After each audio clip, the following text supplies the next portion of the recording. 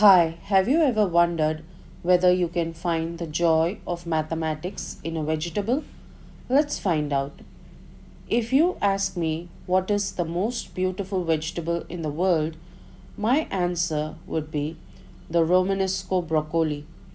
Also known as the Roman cauliflower, it has the general shape of a cone, and on each cone there are more and more smaller cones looking exactly like the larger. It exhibits what is called self similarity, which is a distinguishing feature of fractals.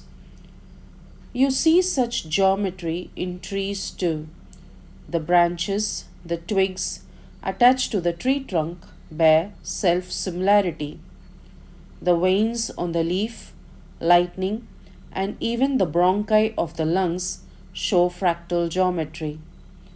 It is impossible to describe these objects occurring in nature using Euclidean geometry by means of rectangles or cuboids, but fractal geometry can exactly describe these objects.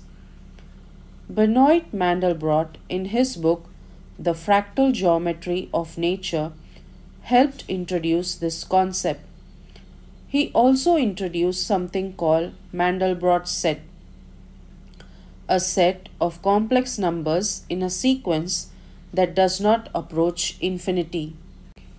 It can be explained with the equation zn plus 1 is equal to zn square plus c, where c and z are complex numbers and n is 0 or positive integer.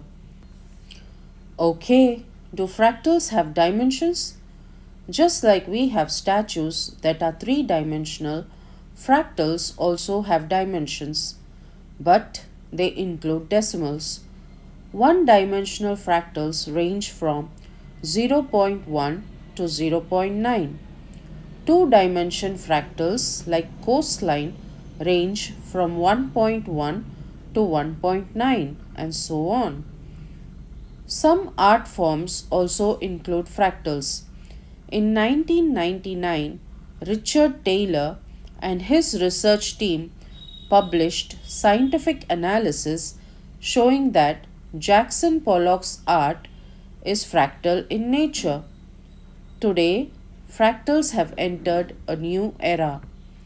Fractal analysis is being used in oil industry for spillage prevention.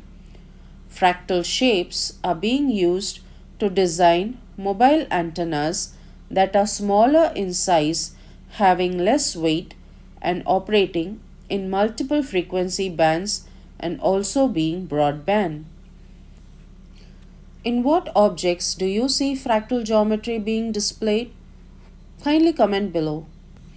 Thank you for watching.